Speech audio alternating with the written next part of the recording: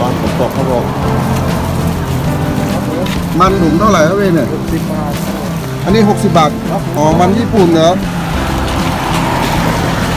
ขออันละ20 บาทใครครับเจ้าประจำครับในเครือครับครับอันนี้เท่าไหร่อันนี้40บาทคบผมมันญี่ปุ่นจะแพงหน่อยนะ ซื้อมาจากไหนพี่มันญี่ปุ่นเนี่ย อันนี้ต้องทำให้เพจครับผมอ๋อสั่งในเพจมาเอามาย่างย่างตัวๆได้นะพี่โอ้โหแกะให้ดูเลยครับผมร้อน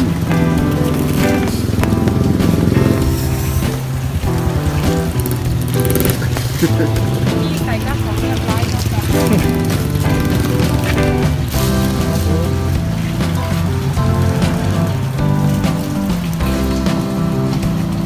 จ้ะไม่ได้ทำตลอด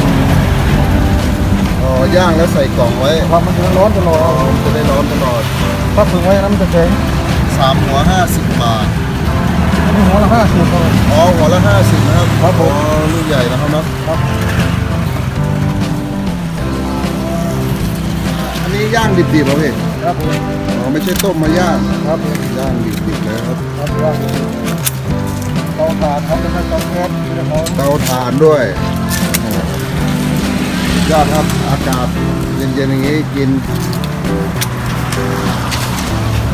คนจังหวัดไหนครับพี่เนี่ยน้ำลำร้อนบุรีรัมย์ทุกทีเห็นกับขายลูกชายหน้าตลาดนะครับเนาะครับผมหน้าตลาดผมให้ลงแล้วจะขายประจำสี่แยกเจริญทรัพย์นะครับ ตรงตรงนี้ป่ะน้ำแยกครับตลาเราดสามแยกเจริญทรัพย์อ๋อตลาดตอนเช้าครับผม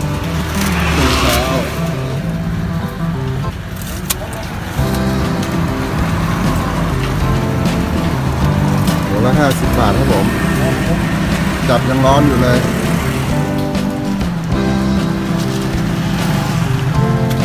ไอขายดีอยู่นะเพราะว่าซื้อข้าวโพดมาเป็นเนี่ยแต่ต้องแบบ